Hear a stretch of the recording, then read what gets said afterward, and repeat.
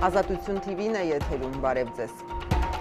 Այսօր պաշտպանության նախարարությունում է եղել վարչապետ Նիկոլ Փաշինյանը։ Ռազմական բուհերի շրջանավարտներին ավարտական վկայականներ են հանձնվել։ Փաշինյանն արձագանքել է օրերս տարածաշրջանային EA Daily-ի հետ զրույցում պաշտպանության նախարար Դավիթ Տոնոյանի հայտարարություններին։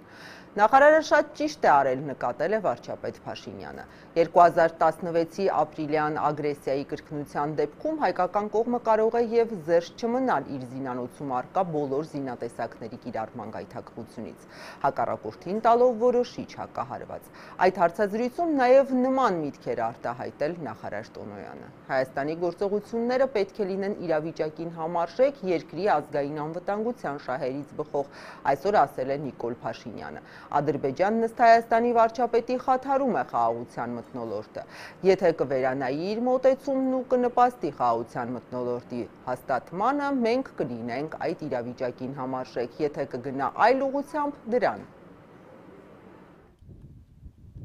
Ղարաբաղյան հակամարտության առնչությամբ Հայաստանի դիրքորոշումը համարժեք է լինելու իրավիճակին։ Այսօր լրագրողների հետ ճեպազրույցում հայտարարեց վարչապետ Նիկոլ Փաշինյանը։ Ընդգծելով, որ պաշտպանության նախարար Դավիթ Տոնոյանը շատ ճիշտ է արել Ադրբեջանի հասցեին օրերս հնչեցնելով կոշտ հայտարարություն։ Հայաստանի ղեկավարն ու կառավարության անդամները այսօր պաշտպանության նախարարությունում էին, ուր հայաստանյան ռազմաուսումնական հաստատություններն ավարտած սպաներին շնորվեցին ավարտական փաստաթղթեր եւ սպայական դաշույններ մենք պետք է իրավիճակին համարժեք լինենք։ Կարծում եմ սա է ամենակարևոր մոտեցումը, այսինքն որևէ որևէ դիրքորոշում ինքը կարծրացած չէ։ Դիրքորոշումը մանավանդ այս հարցում պետք է լինի համարժեք։ Այսինքն մենք կարծում ենք, որ այո, խաղաղ բանակցային ճանապարհով հարցի կարգավորումը կարևոր է։ Մենք համարում ենք, որ դա հնարավոր է, բայց մենք ասում ենք նաև, որ դրա համար անհրաժեշտ է համապատասխան մտնոլորտ։ Ցավոք սրտի Ադրբեջանը իր գործողություններով եւ իր հռետորաբանությամբ հնարավոր հնարավորություն չի տալիս, խաթարում է ընդհանրապես խաղաղության մտնոլորտը եւ հնարավորությունը եւ մենք համարժեք ենք գնինելու իրավիճակին։ Եթե Ադրբեջանը կվերանայի իր մոտեցումը եւ կնպաստի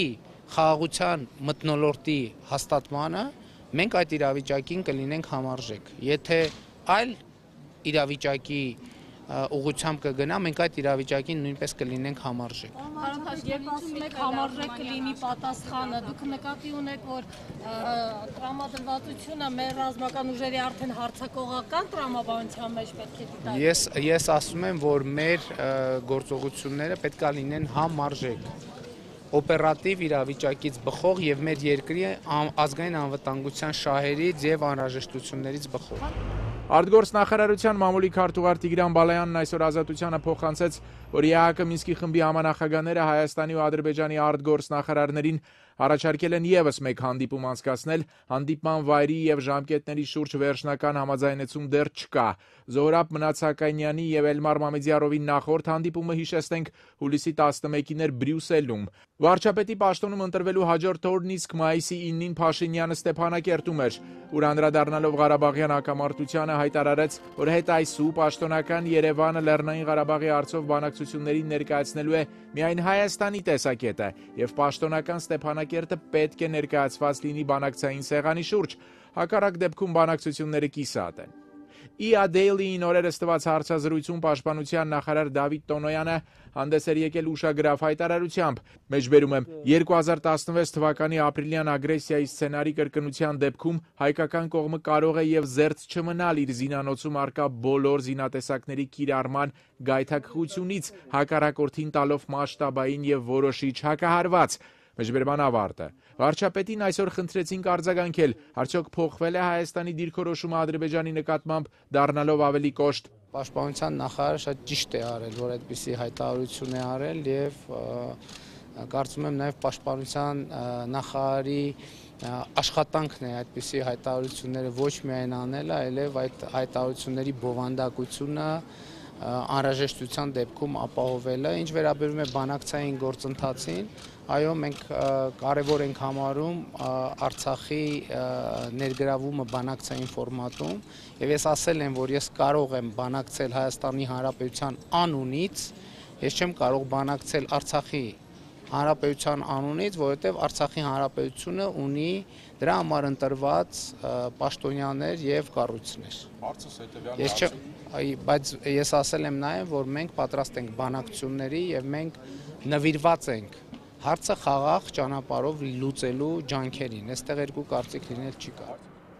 Վարչապետ Նիկոլ Փաշինյանը Facebook-ում տեղեկացրել է. Վաղը մեկնում է Սանկտ Պետերբուրգ մասնակցելու ԵՏՄ միջկառավարական խորհրդի նիստին։ Պարզաբանել է սահմանադրական փոփոխություններից հետո ձեռք բերած կարգավիճակի բերումով Հայաստանի վարչապետը ներգրավված է ԵՏՄ բարձրագույն տնտեսական խորհրդում երկրների ղեկավարների ֆորմատում եւ այդ հարցը լուծված է նաեւ դե յուրե, այսինքն այնտեղ Հայաստանը շարունակելու է ներկայացնել վարչապետը, բայց ԵՏՄ միջկառավարական խորհրդի աշխատանքի իրավական կարգավորումները դեռևս չեն համապատասխանեցվել Հայաստանի սահմանադրության նոր տեքստին եւ վարչապետերի խորհրդի նիստին իր մասնակցելու, իր չմասնակցելու պարագայում որոշումներ չէին կարող ընդունվել եւ ֆորմատը կատվածահար կլիներ։ Քանի որ դեռևս Թավշյա հեղափոխության օրերին հայտարարել եմ, որ ԵՏՄ-ն կատվածահար անելը մեր նպատակը չէ գրել է Փաշինյանը, ընդհակառակը պիտի ամեն ինչ անենք այդ կազմակերպությանը մեր երկրի անդամակ անդամակցության անդամակցությունն առավել արդյունավետ դարձնելու համար կայացրել եմ Սանկտ Պետերբուրգ մեկնելու որոշում։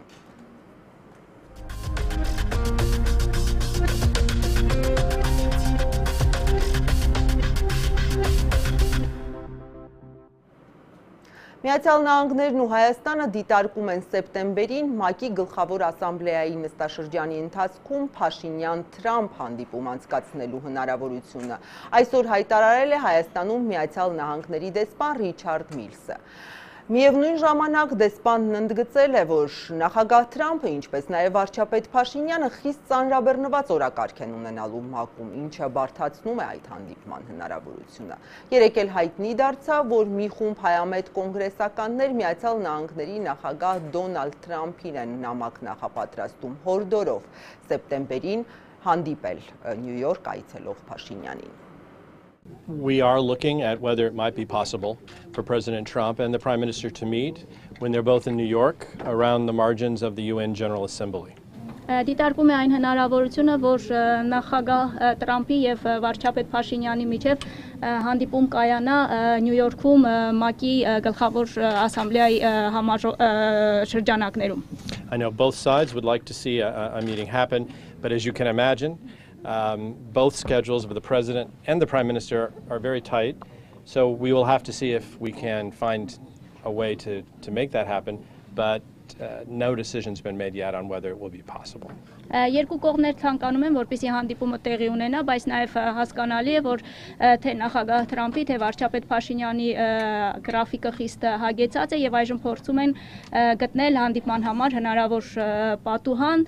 սակայն այս պահի դրությամբ հանդիպման մասին որոշում դեռևս կայացված չէ։ In the meantime, I would just say we're very pleased at the embassy and in Washington that there's been so much other contact between the new government and very senior U.S. government officials. Միաժամանակ ուզում եմ նշել, որ մենք դեսպանությունում եւ Միացյալ Նահանգների կառավարությունը գոհ է մեր երկկողմ հարաբերությունների շփումների բարձրաստիճան մակարդակով եղել են բավականին շատ հանդիպումներ, շփումներ բարձր մակարդակում. Just in the last 6 weeks we had President Sarkisian in Washington to meet with the Secretary of State. We had Deputy Prime Minister, the Minister of Justice is there this week. So I'm very pleased that there's already a lot of engagement going on. Վերջին 6 շաբաթների ընթացքում նախագահ Սարգսյանն է եղել Վաշինգտոնում հանդիպում է ունեցել պետքարտուղարի հետ, առաջին փոխվարչապետն է այցելել Միացյալ Նահանգներ, այժմ Միացյալ Նահանգներում է գտնվում արդարադատության նախարարը եւ այս երկկողմ շփումների բավականին բարձր մակարդակ կա։ Առաջին փոխվարչապետ Արարատ Միրզոյանն ամփոփել է Միացյալ Նահանգներ կատարած այցը։ Միրզոյանի խոսքով ուղևորության ընթացքում քննարկել է նաև ամերիկյան հազարամյակի մարտահրավեր ծրագրին Հայաստանի մասնակցության հարցը։ Կորպորացիայի ծրագիրը Հայաստանում կասեցվել է 2008-ի նախագահական ընտրություններից եւ դրան հաջորդած մարտի 1-ի արյունալի իրադարձություններից հետո։ Իշխանապողությունից հետո պաշտոնյաները չէին թաքցնում, մտադիր էին նորից դիմել ծրագրին մասնակցելու համար, բայց պարզվեց այժմ էլ նոր խոչընդոտ կա։ Բավական ժամանակ առաջ համաշխարհային բանկը փոխել է Հայաստանի ռեյտինգը ցածր միջին եկամուտ ունեցողներից դեպի բարձր միջին, իսկ հազարամյակի մարտահրավերների ծրագրի չափանիշներով կարող են հնարավոր գործընկեր համարվել այն պետություններ, որոնք բավարարում են մի շարք չափանիշներ, այդ թվում եւ չեն հասել բարձր միջինի հա հիմա համաշխարհային բանկը այդ միջափանիշով փոխել է Հայաստանի ռեյտինգը, կարգը, դասակարգումը եւ դրանով Հայաստանն մեխանիկորեն դարձել է չհամապատասխանող այս ծրագրին, ինչը իդեպ զարմանք է առաջացրել նաև բուն հենց հազարամյակի մարտահրավերների գրասենյակում եւ հիմա ուղղակի այդպես ԱՄՆ որոշ պաշտոնյաներ նույնպես չգիտեն ինչպես վարվել իրավիճակի հետ։ Իհարկե մենք առաջարկեցինք մտածել մի նոր մեխանիզմ, եթե այլևս չենք կարող բավարարել հազարամյակի մարտահրավերների չափանիշներին, ապա անպայմանորեն կա եւ կարծում հնարավոր է մտածել մի նոր մեխանիզմ, որով ԱՄՆ-ը իր աջակցությունը կցուցաբերի Հայաստանի ժողովրդավարությանը։ Բացի նշվածից մենք հանդիպումներ ունեցանք UNDP ղեկավարի հետ, հանդիպումներ ունեցանք Հայաստանի մանուկներ հիմնադրամի հիմնադիր եւ տնորեն Գարո Արմենի հետ,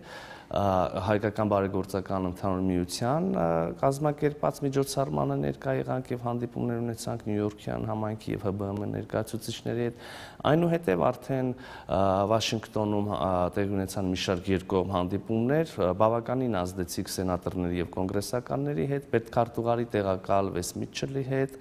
այլ պաշտոնատար անձանց հետ, որոնց այլ այդ հանդիպումների ընթացքում ներկայացրեցինք Հայաստանի նոր քաղաքական առաջնորդությունը, ներկայացրեցինք Հայաստանում վերջին զարգացումները, հեղափոխություններ, այն արժեքները, որոնք դրված են հեղափոխության հիմքում, եւ այսպես ասած միով բանիվ ամերիկյան վարչակազմի ներկայացրեցինք Հայաստանի նոր քաղաքական առաջնորդությունները, նոր իրավիճակը Հայաստանում։ Նաեւ շատ լուրջ քննարկումներ ունեցանք Հայաստանի եւ Ամերիկայի Միացյալ Նահանգների միջև հարաբերությունների խորացման վերաբերյալ մասնավորապես ԱՄՆ-ի կողմից Հայաստանին ցույց տրվող աջակցությունը քննարկվեց, առևտրային կապերի խորացումը, ուղակի ներդրումների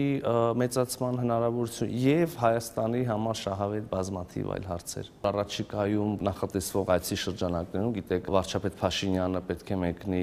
ՄԱԿ-ի գլխավոր ասամբլեային մասնակցելու սեպտեմբերին եւ ահա այցի շրջանակներում կոնգրեսականները նպատակարար են գտնում կազմակերպել Փաշինյան-Թրամփ հանդիպում, ինչի մասին իդեպ նամակ են ստու կոնգրեսում ստորագրավակ են սկսել եւ նամակ են հղում նախագահ Թրամփին, սա եւս ընդունված պրակտիկա է, ինչեւ է հարցը բարձրացվեց կոնգրեսականների կողմից եւ մենք հավաստեցինք, որ այո, քննարկվում է հնարավոր հանդիպումը։ Իշխանապողությունից հետո վերաբացված Զիբիլիքս անունը ստացած քրեական գործի շրջանակներում իրավապահները ձերբակալեցին Երևանի մի բնակչի Հեղինե Փոգրարյանին։ Հատուկ քնչական ծառայության հաղորդագրության համաձայն 56-ամյա կինը անցած տարի մայիսին կայացած Երևանի ավականու ընտրություններից առաջ ընտրողներին խոստացել է 10 հազարական դրամ կաշառք ավականու անդամի Թեկնածու Տարոն Մարկարյանի օգտին քվյարկելու համար քաղաքապետի ընտրությունների քարոշչության վերջին օրը ելք դաշինքը իրավապահներին հանցագործության մասին հաղորդում էր ներկայացրել, գծելով հանրապետական Տարոն Մարկարյանի նախընտրական շտաբի մոտ տեղադրված աղբամաններից հայտնաբերված սկանդալային փաստաթղթեր, որոնք ընդդիմադիր դաշինքի անգամ վկայում էին այն ժամանակ իշխող Հանրապետականի կողմից ընտրակաշարքի բաժանումը կրել է համակարգված բնույթ։ Գործեր հարուցվել, բայց կարդ ժամանակ անց կարճվել հանցակազմի բացակայության հիմքով։ Վերաբացվեց Փաշինյանի առաջնորդած հեղափոխությունից հետո։ Վարչապետի կուսակից падգամավոր Լենա Նազարյանը չի բացառում, որ ընտրակաշարքի բաժանման գործում կարող է ներգրավված լինել նաև Տարոն Մարգարյանը։ Երկար ժամանակ մենք փորձում էինք հասնել նրան, որ այդ փաստերը ուսումնասիրվեն, սակայն անարդյունք եւ ըստ էության սա առաջի արդյունքն է, բայց միևնույն ժամանակ ես կարծում եմ այդպիսի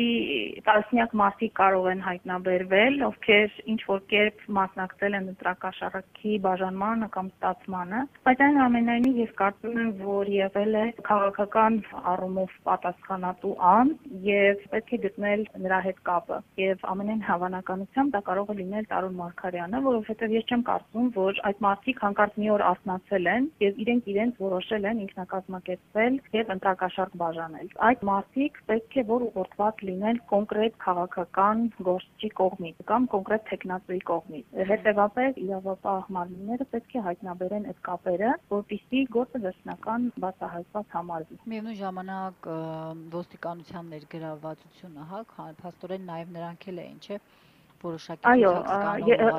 կար ոստիկանների ցուցակ, ինքն փաստաթուղթ, որը ուղարկված է եղել ոստիկանական բաժանմունքի եւ այնտեղ նշված են եղել ոստիկանների անուն ազգանուններ, որոնք պարտավորվել են ինչ որ չափքանակի ձայներ բերել Տարոն Մարգարյանի համար։ Եվ բնականաբար պետք է հարցակնվեն այդ մարդիկ, նրանց անունները հայտնի են, նրանք պետք է ասեն թե ում ում են խոսացել կամ ով է եղել այն կապող օղակը նախընտրական շտաբի եւ իրենց բաժանմունքի կողքի եւ ընդհանրապես ով է այդ ամեն ինչը կազմակերպել։ Ամեն ինչ շատ ավելի ակնհայտ էր, ընդհանրապես պետք էր մի քանի հետախուզական հետաքննական աշխատանք իրականացնել եւ հայտնաբերել այդ մարդկանց եւ նրանց միջև կապերը եւ նաեւ կազմակերպչին եւ քաղաքական պատասխանատուին։ Աշխատանքը չի արվել, որովհետեւ իրավապահ մանունները ազատ չեն եղել, ազատ չեն գործ ժամանակապահ լիզի գործողություններում եւ նաեւ վերահսկվել են։ Հիմա այդ ամենը վերացել է եւ իրավապահ մարմինները ազատ են պաշտպանել օրենքը եւ գործել օրենքի սահմաններում, վստահ եմ դեռ շատ բացահայտումներ կլինեն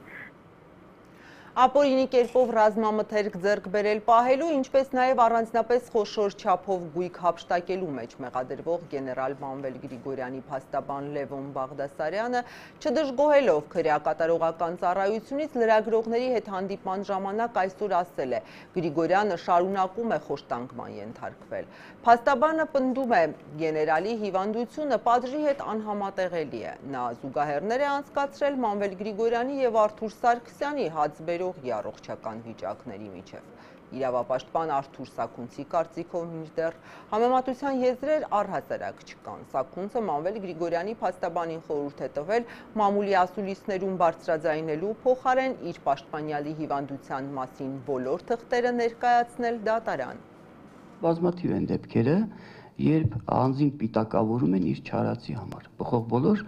բացական հետևանքներով։ Լավագույն օրինակը կարող եմ բերել Մանվել Գրիգորյանի դրվագով, եթե ցանկանում եք այդ օրինակը բերեմ, կբերեմ, լավագույն օրինակը կբերեմ, երբ անձին մինչ ոչ օրինականություն ստացած դատական ակտի արկայության պայմաններում ուղակի մեղադրեցին զինվորի սնունդը գողանալու մեջ։ Իսկ եթե վաղը, իսկ եթե վաղը օրենքով սահմանված կարգով դատանը վճիռ կայացնի եւ ողջի որ նա չի գողացել մենք ինչ ենք ասենք ինչ հետեւություն ենք անելու եւ գիտեք այդ օրինակը ուղակի պահիտակ մտքովս անցա բերեցի օրինակները բազմաթիվ են առողջական վիճակը բավականին վատ է մեկ անգամ եւս փաստում են որ խոշտանգում է իրականացում վերջինիս նկատմամբ անհամատեղելի է նրա հիվանդությունը կալանքի հետ ավելին ձերքից տակ կա քիչ առաջ ես վերցրեցի ուղակի ձերքից մնաց ձերքից տակ կա երկու հեղինակավոր բժիշկների կարծիքը մեկը Ֆրանսիայի ժամանած, մյուսն էլ Գրիգոր Լուսավորչի հայտնի բժիշկներից մեկն է Պարոն Մանուկյանը, որոնք ուղակի փաստում են հիվանդին գտնվել նման վայրում արգելվում է։ Սա դասական խոշտանգման օրինակ է բխող բոլոր բացական հետևանքներով։ Պետական լիազոր մարմինները բավականին ուշադիր են վերջինիս նկատմամբ եւ քիմիոթերապիա են ընդունվում եւ այլ հատուկ միջամտություններ են իրականացնում, բայց ես լրիվ ուրիշ բանի մասին եմ խոսում։ Ես խոսում եմ, որ վերջինիս նկատմամբ իրականացվում է դասական խոշտանգում։ Եթե բժիշկը հայտարարում է, որ արգելված է գտնվել նման նման վայրում, ուրեմն դա աքսիոմա է, ինչպես ակետից բեկետը հավասար է բեկետից ակետին։ Ավելին ասեմ, մենք օրինակ ենք ունեցել, հաց բերողի օրինակն ենք ունեցել, հետախուս հետախուս Սողոմոնի օրինակն ենք ունեցել եւ վերջիններս ուղակի դասական խոշտանգման օրինակով մնացին մեկուսացված վայրում եւ մահացան միանշանակ է, որ քաղաքական իշխանության կողմից որևէ դատավորի կամ դատական իշխանությանը հասցեագրված ինչ-որ թելադրանք կամ պահանջներ չի ներկայացված, բացի մեկ պահանջից, որ դուք ազատ եք։ Երկրորդը, եթե փաստաբանը գտնում է, որ Մամեդ Գրիգորյանի առողջական վիճակը անհամատեղելի է կալանքը որպես խափանմիջոցի կիրառման հետ, դա պետք է դատարան ներկայացնի։ Համապատասխան փաստաթղթեր եւ դատարանը պետք է որոշում կայացնի։ Նախկինում, երբ որ դատական իշխանությունը իշխանությունը ըստ էության ամբողջական կախվածության մեջ էր գործադիր իշխանությունից, այն ժամանակ մամուլի ասուլիսներով փորձում էինք այդ հարցը բարձրացնել եւ փաստաբանները կախվածություն չենք բողոքում, բայց այդ կախվածությունը չկա։ Հետևաբար ասել որ նույնն է դա մեղմ ասած չի համապատասխանում իրականությանը, եթե չասեն որ դա ամբողջովին սուտ է։ Եվ այդ առումով համակցության եզր տանել մի քիչ տեղին չէ, ավելին ես դեպքում ռետորական հարց է տակում, այսինքն հիմա ինչ է Մամեդ Գրիգորյանը ասեք այնպեսի տարեվիճակում է, որ ընդհանրենք խափամիջոցը կալանք փոխելուց հետո 3 օր այն ընդամենը ապրելու, ինչպես ասենք Սողոմոն Քոչարյանը կամ հաց բերողի դեպքում, երբ որ ակնհայտ կար առողջության հետ կապված խնդիրներ եւ երկրորդ անգամ հանրային բողոքներից հետո ազատվելուց հետո 10 օր ընդամենը ապրել։ Գտնում եմ, որ ոչ իրավիճակն է նույնը, ոչ դատական իշխանության իրավիճակն է նույնը շատ բան է փոխվել ուղղակի շահարկում են չեմ հասկանում ինչու բայց իհարկե ենթադրում եմ որ նպատակ ունեն Մավիլ Գրիգորյանին ներկայացնել որպես քաղաքական հետապնդման զոհ ինչ վերաբերվում է հանրային կարգին Մամիլ Գերիքյանի նկատմամբ, ապա այն ինչ որ ազգային անվտանգության ծառայության կողմից հայտնաբերվեց նրան պատկանող շինություններից, որը գրված էր այդ ծննդամթերքի վրա ոչ վաճառքի համար, զինվորի համար կամ նամակները, որոնք ապրիլյան պատերազմի ժամանակ գրվում էին աշակերտների կողմից եւ հայտնաբերվում են ոչ թե հասցեատերի մոտ այլ հենց նրա պահեսներում, դա անհերքելի փաստեր են։ Երկար ժամանակ անպատիժ մնացած անձը, որը անմիջական մասնակցություն է ունեցել նաև քաղաքական գործընթացներում, ընտրական process-ների ժամանակ, սրանք դեռևս սպասում են իրենց իրավական գնահատականին։ Պետեկամուտների կոմիտեն հաղորդում է ֆինանսների նախարարության եւ Դիլիջանի ֆինանսների նախարարության Դիլիջանի ուսումնական կենտրոնի շինարարության ընթացքում բացահայտված չարաշահումների մասին։ Հաղորդագրության համաձայն ֆինանսների նախարարության եւ պետական եկամուտների կոմիտեի պաշտոնյաները օգտագործելով պաշտոնեական դիրքը Սահակյան շին ընկերության միջոցով առանց փաստաթղթային ձևակերպման կազմակերպել եւ իրականացրել են Դիլիջանի ուսումնական կենտրոնի շինարարական աշխատանքները, որոնք չեն անցել որակի տեխնիկական հսկողություն։ Փոխարենը 2013-2015 թվականների ընթացքում, երբ շինարարությունը արդեն փաստացի ավարտված է եղել, Սահակյան շինի հետ կնքել են վերակառուցման աշխատանքները մաս-մաս կատարելու վերաբերյալ գնման 6 պայմանագիր ընդհանուրը ավելի քան 2 միլիարդ 350 միլիոն դրամ արժողությամբ։ Դրանից ընդամենը օրեր անց կազմվել են շինարարական աշխատանքների կատարման փաստը հավաստող հանձնման ընդունման արձանագրություններ, երբ գործնականում անհնար էր մեկ կամ մի քանի օրվա ընթացքում սկսել եւ ավարտին հասցնել նման ծավալների շինարարական աշխատանքների կատարումը։ Պետեկամուտների կոմիտեի հաղորդմամբ հարուցված է քրեական գործ։